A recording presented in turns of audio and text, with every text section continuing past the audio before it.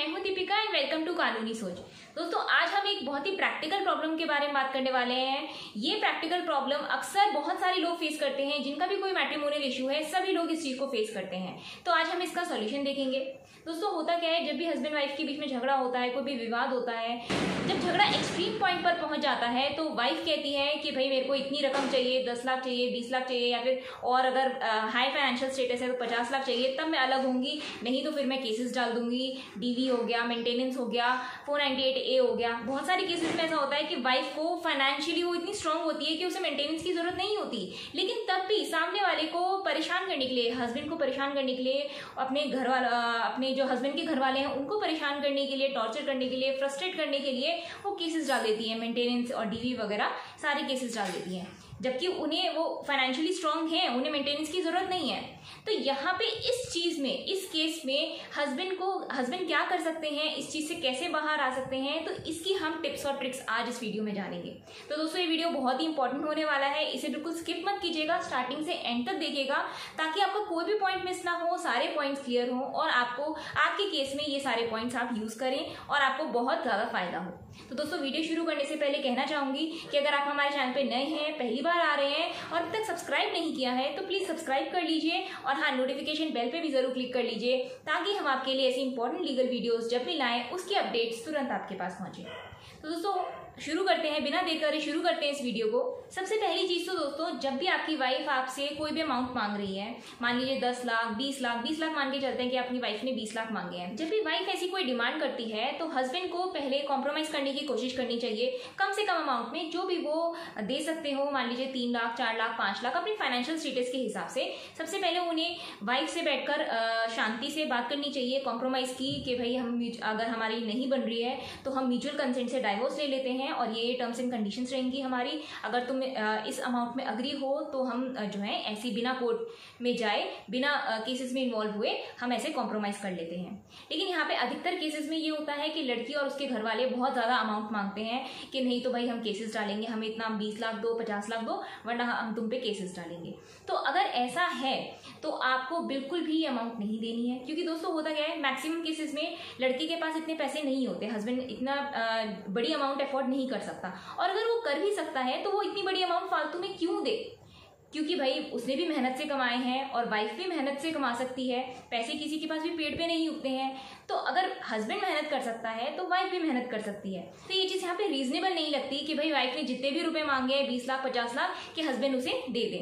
यहाँ पे चलिए एक बात दोनों की सहमति से हम कर सकते हैं कि भाई चार लाख, पाँच लाख से जो भी उनके बीच में आपसी सहमति होती है, उतनी अमाउंट चलती है। लेकिन कोई भी बड़ी अमाउंट नॉन रीजनेबल अमाउंट वो नहीं दी जा सकती। यहाँ पर अगर वाइफ कॉम्प्रोमाइज के लिए नहीं मानती है तो यहाँ पर आपको बोल्डली बिल्कुल कॉन्फिडेंट के साथ कहना है, ठीक है, आपसे जो बन पड़ता है, आप वो कर लीजिए, जितने केसेस डालने हैं, डाल लीजिए। क्योंकि भाई, अगर आप केसेस में इन्वॉल्व हो रहे हैं तो फिर वो भी तो केसेस में इन्वॉल्व हो रही है। अगर आपको जितनी तकलीफ़ हो रही है, वो भी वो सारी तकलीफें फेस करेगी, सारी प्रॉब्लम्स फेस करेगी। अगर आप सेकंड मैरिज करना चाहते हैं तो जितना इंतज़ार आपको करना पड़ेगा, उतना इंतज़ार उसे भी करना पड़ेगा, क्योंकि पहले केसेस से फ्री होगी, पहले डाइवोर्स होगा, उसी के बाद सेकंड मैरिज कर सकते हैं। कई बार ये भी होता है दोस्तों कि हमारे कुछ एक्सेप्शनल केसेस होते हैं जिसमें हमें डाइवोर्स लेने की ज़रूरत नहीं होती अगर हम सेकंड मैरिज के लिए जाना चाहते हैं। तो उसके लिए भी मैंने एक डिटेल वीडियो बनाई है, मैं उसका लिंक डिस्क्रिप्शन बॉक्स में दे दूँगी। तो अगर आप उस कैटेगरी में आते हैं तो आपको डाइवोर्स के लिए वेट नहीं करना पड़ेगा, आप सेकेंड मैरिज के लिए जा सकते हैं। तो अगर आप चाहें तो वो आप वीडियो देख सकते हैं। और डाइवोर्स की पूरी प्रक्रिया के ऊपर भी मैंने दोस्तों वीडियो बनाई है। उसका लिंक भी मैं डिस्क्रिप्शन बॉक्स में दे दूँगी। अगर आप चाहें तो उससे आपको डाइवोर्स की पूरी प्रक्रिया पता चल जाएगी। अब दोस्तों हम मान के चलते हैं कि वाइफ ने बहुत सारे केसेस डाल दिए। मेंटेनेंस डाल दिया DV four ninety eight A जो भी सारे केसेस पॉसिबल है, वो सारे आप पर डल गए। अब यहाँ पे आपको क्या करना है? आपको जब नोटिस पर, आ, मिलता है तो कई सारे हस्बैंड्स के मन में ये कन्फ्यूज़न रहता है कि भाई हम समन को रिसीव ना करें। हम इग्नोर करें कुछ भी बहाना बना दें तो उससे ये होगा कि डिले होता रहेगा तो अच्छा रहेगा। लेकिन आपको ऐसा नहीं करना। अगर आपने ऐसा कर दिया तो सामने वाली पार्टी यानी वाइफ के फेवर में कोर्ट कोई भी फैसला कर सकती है एक्स पार्टी ऑर्डर जिसे हम कहते हैं। यहाँ पे आपको समन रिसीव करना है जो भी कोर्ट से नोटिस आता है उसे रिसीव करना है। बाकायदा जो भी डेट दे रखी है उस पर कोर्ट पर अपियर होना है। अब वहाँ पर अपियर होने के बाद आपकी जब अपियरेंस लग जाएगी कोर्ट में उसके बाद जो भी डेट्स लगती हैं आपको उन डेट्स पर हाजिरी माफ़ी की एप्लीकेशन लगानी है यानी कि एग्जेम्पन लेना है। आप एक अच्छा सा एडवोकेट हायर करेंगे जो कि आपके केसेस को चलाएँगे जो है कोर्ट से वो एग्जेम्पन ले लेंगे। तो जब तक तीन चार डेट्स तक आप एग्जेम्पन लेते रहेंगे हाजिरी माफ़ी की एप्लीकेशन लगाते रहेंगे सामने वाला तो उन डेट्स पर आता रहेगा। सामने वाला फ्रस्ट्रेट होता रहेगा वो, सोचेगा कि भाई मैं तो आ रही हूँ डेट्स पे और जो है जिसके खिलाफ मैंने केस डाला है वो आराम से घर पे बैठा है, उसे तो कोई दिक्कत नहीं हो रही है। वो तो आराम से हाजिरी माफ़ी की एप्लीकेशन लगा रहा है। तो कहीं ना कहीं प्रेशर मेंटेन होता है वाइफ पर कि भाई मैं पागल हूँ जो मैं इतनी रेगुलर डेट्स पर आ रही हूँ।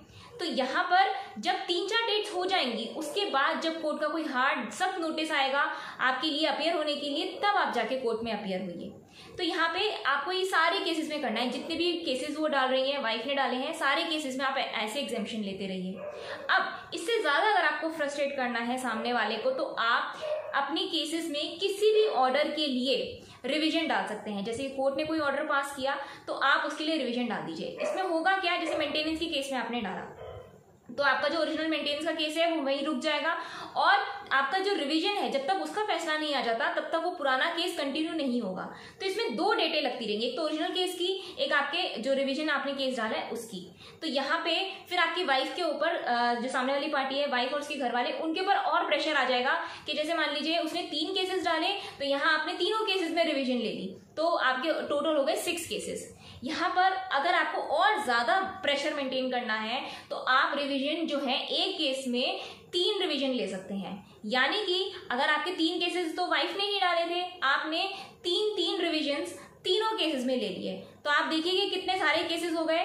टोटल आपके पास ट्वेल्व केसेस हो गए। और ट्वेल्व केसेस में अब वाइफ को जो है अपेयर होना पड़ेगा कोर्ट में, सारा उसकी जो है भागा दौड़ी करनी पड़ेगी कोर्ट में। तो यहाँ पर उसके मन में कहीं ना कहीं आएगा, यार, मैं कॉम्प्रोमाइज ही कर लेती, जितने पैसे वो दे रहे थे, और मुझे इतने इससे मेरे को कोर्ट की फॉर्मेलिटीज में नहीं इन्वॉल्व होना पड़ता। क्योंकि दोस्तों कोर्ट की फॉर्मेलिटीज में कोई भी इन्वॉल्व नहीं होना चाहता। सब लोग अपना पैसा टाइम मनी सब सेव करना चाहते हैं। तो यहाँ पर फिर वाइफ के मन में कहीं ना कहीं आएगा कि, यार, मैं कॉम्प्रोमाइज ही कर लेती हूँ, और मैं जो सारे केसेस मैंने डाले हैं, वो मैं वापस ले लेती हूँ। तो यहाँ पर दोस्तों, आपकी वाइफ खुद आपसे कहेंगी कि भाई कॉम्प्रोमाइज कर लेते हैं, क्योंकि मैं आगे कंटिन्यू नहीं कर सकती। तो आप अपनी शर्तों के अनुसार आप कहेंगे कि ये टर्म्स एंड कंडीशंस हैं और इसमें हम म्यूचुअली डाइवोर्स में ले लेते हैं। और जो भी आपके बीच में तय हुआ है कि अमाउंट दो चार लाख, पाँच लाख, ये जो भी रीजनेबल अमाउंट जो आपके लिए लगती है, वो आप अपनी वाइफ को दे सकते हैं।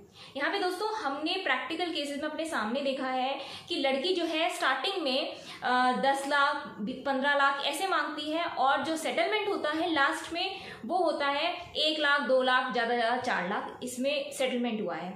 तो आप देख सकते हैं कि कितना फ़र्क है पिछली अमाउंट में और जो फाइनल अमाउंट तय हुई उसमें।